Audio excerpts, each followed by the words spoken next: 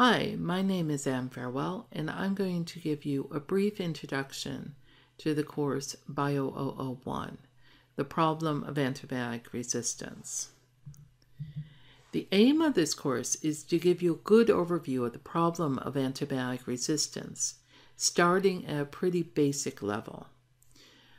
Uh, we assume that we have students with all different kinds of backgrounds, and we want to make sure that everyone is included. This is a multidisciplinary problem, and thus it's a multidisciplinary course. So in this course, we include not only biology, chemistry, medicine, but also economics, politics, and ethics. So we have a very broad um, base of topics. So who I am, I'm Anne Farewell. I'm at the Institute for Chemistry and Molecular Biology at Gothenburg University.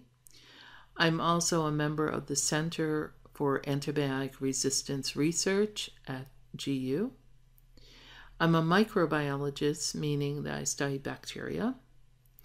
And I'm the course leader, and I'll cover the lectures that I have uh, cover basic biology of bacteria and antibiotic resistance we talk about the course topics. Uh, the first four lectures are from me, and they cover the basic problem of antibiotic resistance, uh, what bacteria are, what antibiotics are, and the spread of antibiotic resistance.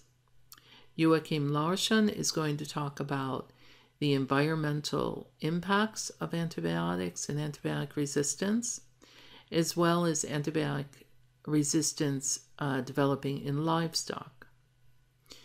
Morten Grøtli is going to talk about drug development. Uh, Christian Munthe is going to talk about ethics. Gunnar Jakobsson is going to talk about the clinical medical perspective of the problem.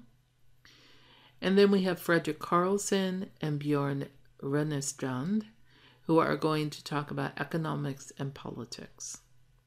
Then finally, the last videos will be me again, and I will talk a little bit more about the Center for Antibiotic Resistance Research and new research from the previous year or so.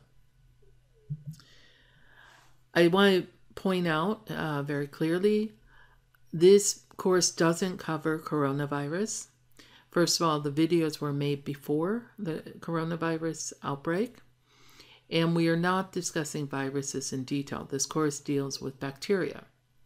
However, uh, much of what you will hear, especially when it comes to some of the social sciences, also will sound familiar in the current crisis. And so I will, over the coming weeks, add a few links of, to information about the biology of coronavirus. I'm just interrupting in here to update some information. So you're currently watching the Getting Started video. That's great. Uh, once you've done that, you should fill out the student survey.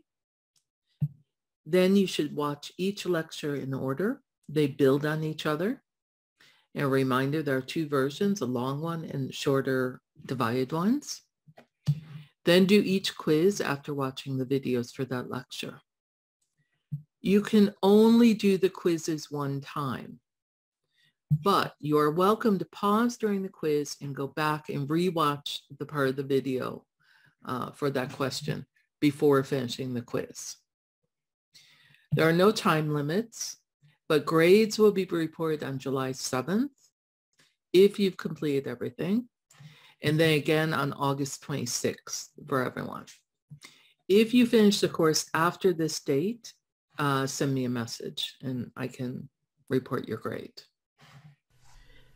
And now we're going to go on to the meat of the course. And in the next video, you'll hear about the problem of antibiotic resistance.